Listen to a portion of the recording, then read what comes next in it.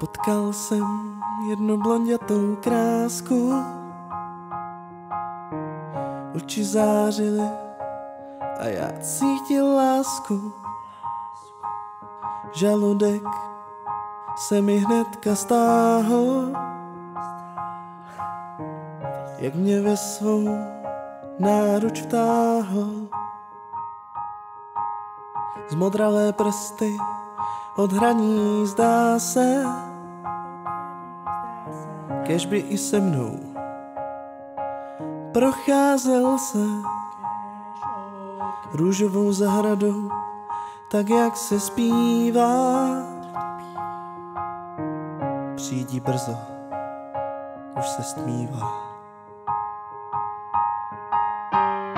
Už dlouho znám tě a vídám krásu tvou. Když objímám tě tlustou paží svou, basa se leskne v tom reflektoru světla s ledonem svetra. Je to má láska, Saitl Petra.